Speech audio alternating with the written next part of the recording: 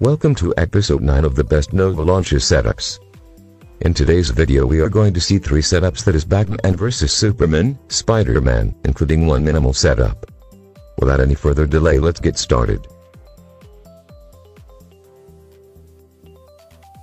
First setup wallpaper is Batman and Superman logo, now I'll break down the setup details. This widget is selected from Arcia KWGT, it displays time, day, date and also shows 3 days weather forecast. Make sure you have disabled touch for this widget. I have selected this icon pack from adopted Pixel Dark icon pack. Now this setup is completed let's go to next one. Here is the second Spider-Man setup.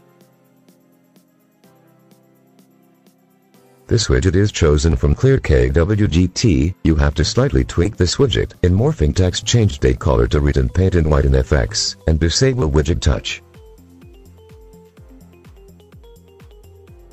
Again I have used the icon pack used in previous setup that is adopted Pixel Dark icon pack.